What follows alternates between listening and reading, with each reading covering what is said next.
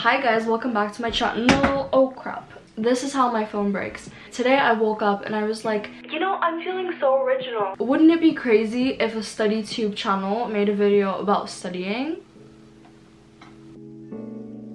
So it is back to school season and many people are being negative. Many people don't enjoy this season. But for me, this is like Christmas time. So I asked you guys to ask me some questions about school and I am gladly gonna answer them. So before I get into the actual questions, actually no, this was already a question. Somebody asked me how the hell does the Irish school system work? So if you live in Ireland and you know this inside out, then skip to this timestamp right there. So basically we have primary school and we have secondary school. So in primary school we have eight classes. Why am I going into primary school? Okay, we have secondary school. So we have six years of secondary school. The first three years are called the junior cycle. After third year, we have a year which is called transition year, which is the fourth year. Transition year is basically a year where you do no studying basically at all and yeah you are allowed to skip that year and then fifth and sixth class is what is called the leaving cycle which is what i'm currently doing right now and at the end of the last year we have an exam called the leaving cert in which you get tested on all the knowledge that you've learned from the past two years so it is quite a stressful exam but you know so excited at the end of all your exams even if you do nine subjects only six of your best subjects count the first question is what are some of your time management tips? I have been taking a lot of time management and productivity classes on this website called Skillshare. Skillshare is basically a website that has thousands of classes on entrepreneurial and creative skills and they have a lot of different courses ranging from like productivity and time management, illustration, digital design, film production, literally any kind of skill you want to work on, it's probably on Skillshare. Skillshare is also super affordable. It's under $10 a month because Skillshare is sponsoring this video, you can sign up with my link down below and get two months for free to learn about any type of skill you want. And if you want more in-depth answer on some like time management tips or whatever, I'd really recommend to go on there and check them out. But to answer your question, the thing that I need the most is my bullet journal. I am gonna make a video on this soon. I don't know when. I don't know. I'm organizing my time really well with it right now. I don't see myself stopping when I start school. I feel like I'm only gonna start using using it more, I would recommend to look into some bullet journals. Another thing that I picked up from Skillshare is one of the teachers was talking about something called time theming. Basically, for each day, you would assign like one or two subjects depending on how much subjects you have. And then every single week, you know that that day is supposed to be for that subject but what i would do and what one of the teachers also recommended is that you keep sunday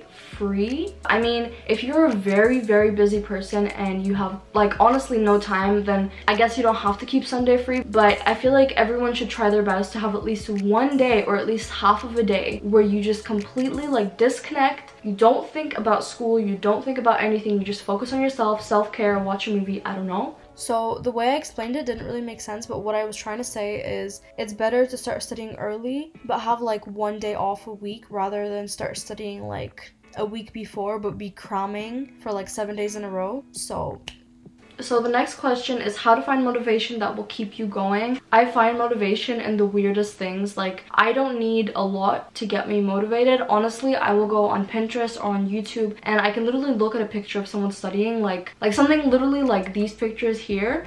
And honestly, watching videos a lot motivates me like productive day videos are like my favorite thing ever. How many points are you aiming to get for your leaving cert? I don't have a specific amount of points that I'm like aiming to get, but there is specific grades that I want. Basically, after I finish school, I want to do a gap year and then I want to do university in London. I need to get four H1s and I think one like H3 but honestly I'm terrified so I want to get 5 H1s and maybe like a H2 or a H3 I don't know how realistic it is but it's my goal so so if you add that up around like 602 or 613 points which is a lot. Oh and before anyone asks the college i want to go to is ucl or imperial. I'm not 100 percent sure and the course i'm going to do is either mathematics or computer science. Also not 100 percent sure but i'm working on figuring that out. How do you stay organized during the school year? This is kind of similar to the time management question in a way. My answer again is with the bullet journal. There's not many things that i have to do to get organized organized. I get homework every day. I make sure to complete the homework the day it was given to me. If I'm not able, then I'll try to do it the next day, but I'll try to get it done as soon as possible.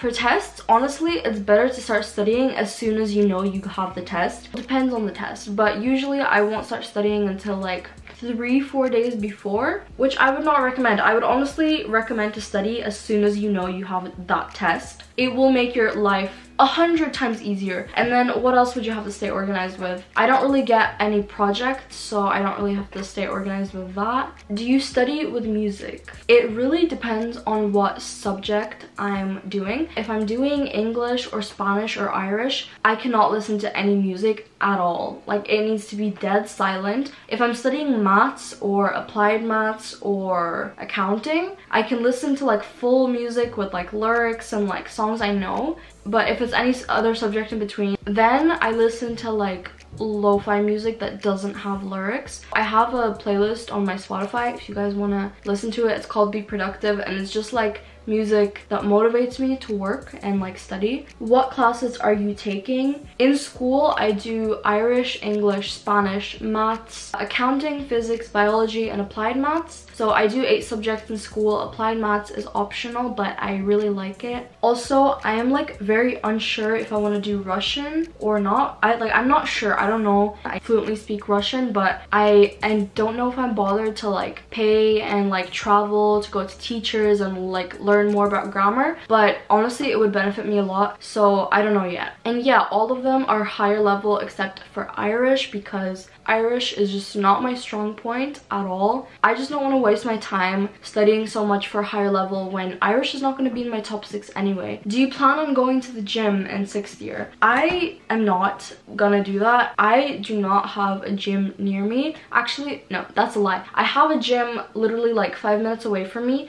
but everybody from my school goes to that gym and I am not about that life. Like I'm okay knowing a couple of people when I go to the gym, but I don't want to know every single person there. The nearest gym to me that's not the one here is like 20 minutes away on a bus. And I did do that last year. I did. I traveled about 20 minutes there and 20 minutes back but this year like i just don't have the time and i don't think i'm bothered um i think it is super important to have some like physical activity that you're doing. But i am still doing a lot. Well okay not a lot but i'm like doing something. But i will not be going to the gym because i ain't got the time. What exam are you the most worried for and what is the hardest subject? For me personally it has always been english. I am so unbelievably bad at english. You can study a lot for english but i feel like you still need to have some like good writing abilities or like talent or something and I feel like no matter how much I study I just don't have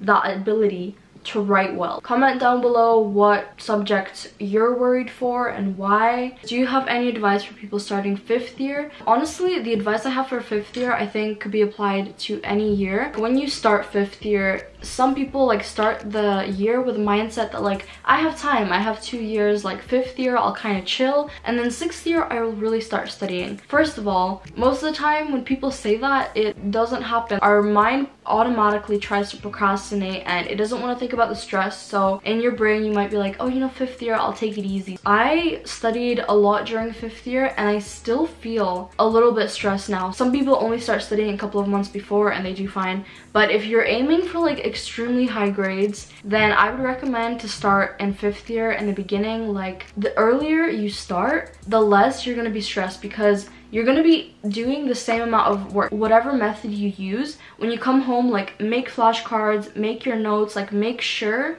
you have your stuff ready and up to date and don't leave it until later. I only use digital flashcards to study, like literally, like that's all I use. And I am up to date with it all the time. I may be like a chapter behind sometimes when like things are like too hectic. Everything I've done on fifth year is on my Quizlet. By the way, if anybody wants to get any like free Quizlet cards, I will link my Quizlet in the link below. My flashcards are not perfect, but they are literally what's getting me through the year. What are some things that you didn't do last year that you want to do this year to improve your productivity?